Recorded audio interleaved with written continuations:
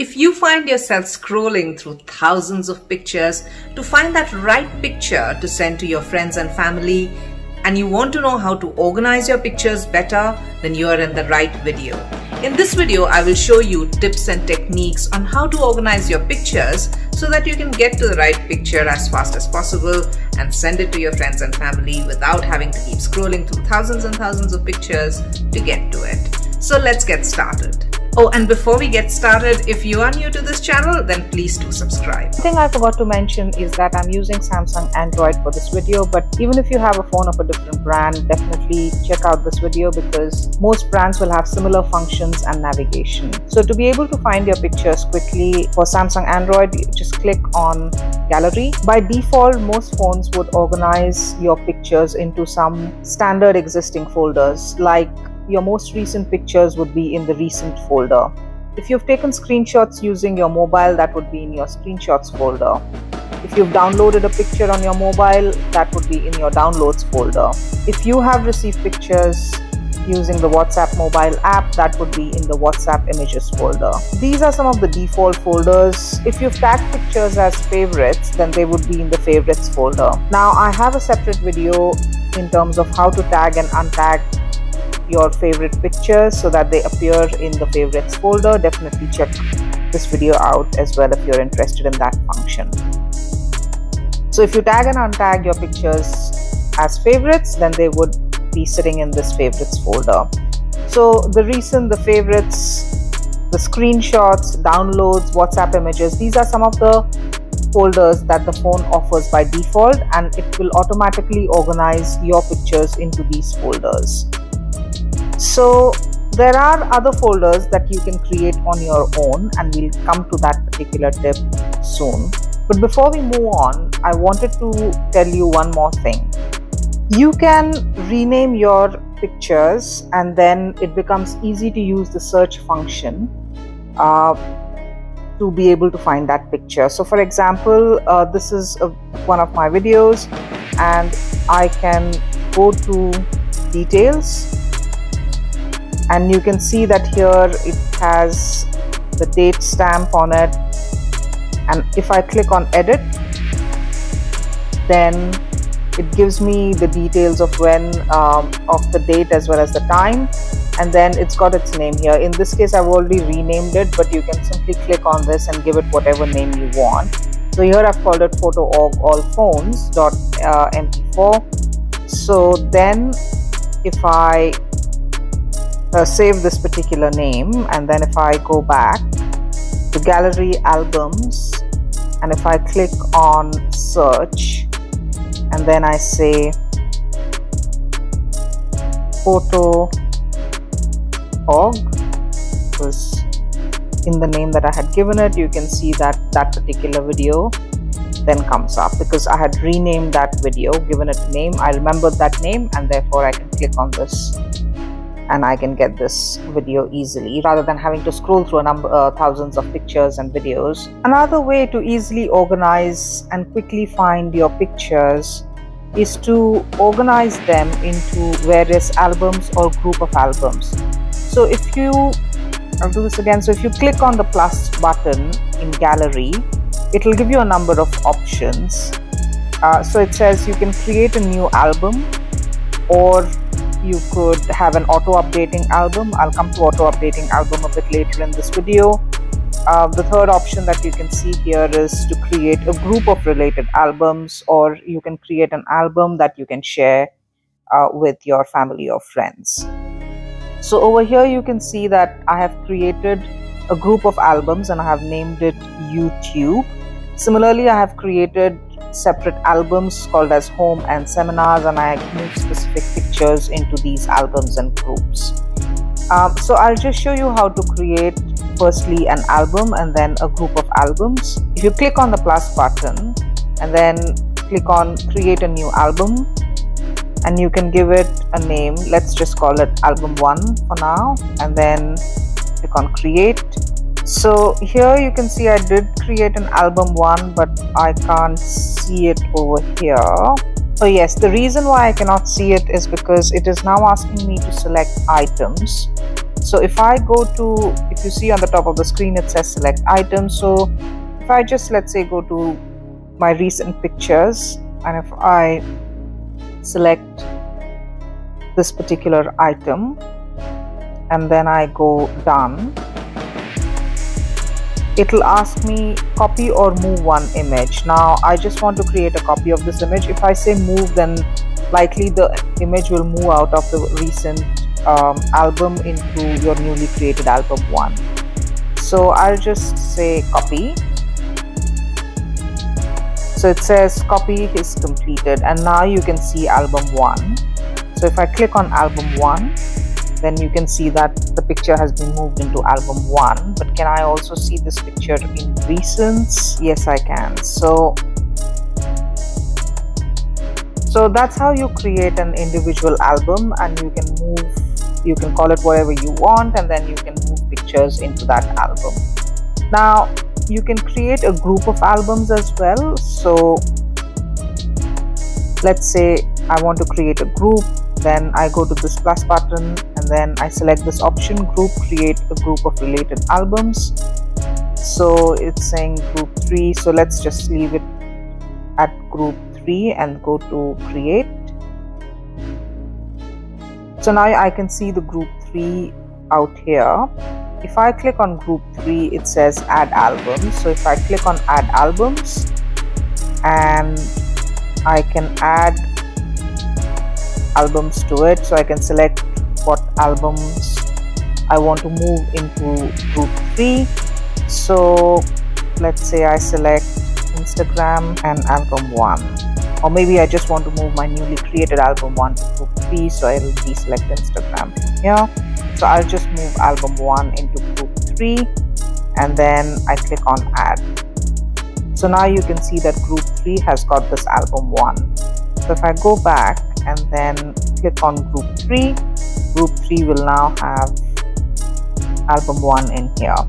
Now I can click on these um, three dots towards the right and continue to add more albums. So I can create a new album within this group. So it says create an album let's just call it album 2 and then you go to create. And then again it will ask you to select what items you want to move into this album to. So let's say if I go into my favorites picture and I want to move this dog into that particular album. I click on done. And again it will ask me whether I want to move or copy so I'll just go copy. And then it creates a copy of this picture and album 2 so now this group which is uh, group 3 that we've just created has got two albums album 1 and album 2 with the pictures that we have moved in.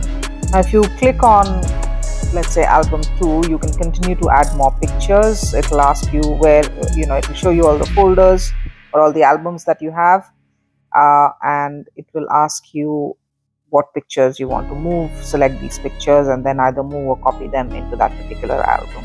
Now I don't want to so I'll just go back. I go into my albums. What are the other options that it's giving me? So I can continue to if I click on add albums I can add any of the existing albums into this particular group or I can create a new album like we just saw or I can create another group within this group. So if I simply go to create group and go to group 4 I go create. Um, so it has created another group within this group 3 so if I click on group 3 now it's got two albums within it plus it's got this newly created group and I can continue to add more albums within this so this is how you can go about organizing and easily finding your pictures and how you name these groups and albums uh, will make it even easier. The feature that we saw was the auto updating album. So if I click on the plus button again the second option here is the auto updating album. The auto updating album will auto update with the picture that you select. So if I click on auto updating album here it's asking me to enter the album name. So let's call this auto update with my pics so then I go create. So as soon as I click on create it gives me the pictures of all the people and these are the people who appear in pictures that I've taken on my phone. So in this case, it's asking me to select the people that I want to include in my auto updating album. So here I'm selecting just myself. I can select more people if I want. Um, so if I select myself and then if I click on done, the auto updating album has then been created and it's got 934 pictures which would all be pictures that contain my photos. So if you had selected other people that came up, then it would have their pictures as well, which it collects from all the other thousands of pictures that you have on your phone. So that's how you create an auto update album, which means that you can have the pictures of a particular person within that particular folder. So then instead of having to scroll through maybe all the 10,000 pictures that you have on your phone, you just have to scroll through what's this number 934 pictures of that particular person or whatever the number is. Whatever the number of pictures you have taken with that particular person and then you just it just sort of is a subset of having to unnecessarily scroll through so many pictures uh, just to get to that one picture. If you know who's in the picture then you can create an auto updating album for that particular person. Before we move on to the last and the coolest tip if you want to know how to download these photos onto your computer, especially if you have a really old computer and you have to download them from your brand new Samsung phone onto your computer, then make sure you check out the link in the description which has a video on how to download your photos from your phone to your computer and what you need to look out for. Also, if you still haven't subscribed, please hit the subscribe button now. Here's the coolest tip and this really blew my mind in terms of how quickly and how easily you can find your pictures and that is if you click on albums in gallery um, and then go to search. You can see that the search gives you a number of options so you can search by people. Um, so it will again show you you can select the person that you want and you can search for all their pictures. So you can search by location. If you click on this arrow here it will show you all the pictures and the phone has automatically categorized them as per location. So that again minimizes your time to have to scroll through tens of thousands of pictures. The shot types so you know where you have taken selfies let's say. So these are all the selfies that I've taken and you can again shortlist. And create uh, and this is again a way of minimizing the number of pictures you have to scroll through. So if you know that uh, you're searching for a particular selfie, then you can click on the selfie icon. It will show you all the selfies that you have taken or if you've taken pictures in a portrait mode or director's view. So by shot types. Uh, if you've got any documents, uh, which is, you know, like if you've scanned uh, and taken photos of particular document, you can find your pictures through documents. So what this means is that it's the phone has automatically categorized these pictures. Uh, so it minimizes the amount of photos that you have to scroll through if you know that whether if you are searching for a particular document or uh, if you know you want a picture that you've taken at a particular location or by a particular shot type. Last option you can see here is things and scenery. So if I click on this arrow, it shows you all your pictures which are categorized by things or scenery so the phone again has automatically categorized them as per you know so let's say the second one you can see is I've got 17 pictures there with animals in there I've got 17 pictures with beaches 18 which have got bags 18 pictures with birds um, there's deserts, about 50 pictures which have got deserts in them. Drinks, which is 128 pictures that have got drinks. Dogs, there's about 10 pictures with dogs. So let's see dogs. And yeah, I've got like 10 pictures of dogs in there. So if I'm trying to find a dog's picture, I can definitely click on this category dogs under the search option and that again minimizes my time to scroll through tens and thousands of pictures to find the picture of a particular dog that I want to send, which I had taken on my phone.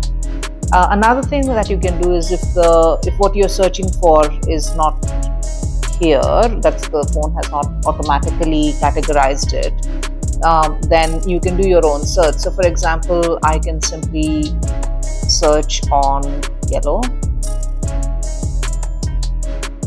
I'm trying to find a picture with all yellows in it and it shows me all these pictures so there's 282 pictures which have the color yellow in them so if I click on this arrow it will show me all the pictures which have the color uh, yellow in them and then you know I can simply this you know, find my picture that I was searching for select it and then I can click on share.